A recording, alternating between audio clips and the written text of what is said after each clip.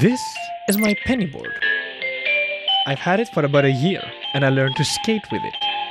All year round, it's helped me get to my appointments on time and has given me infinite amounts of fun.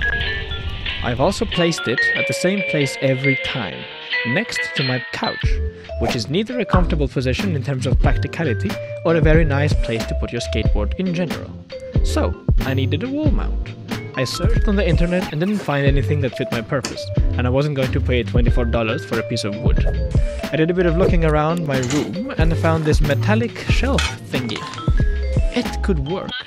And after a bit of meticulous planning, my penny board now has a place of its own. A place where the both of us can be happy with.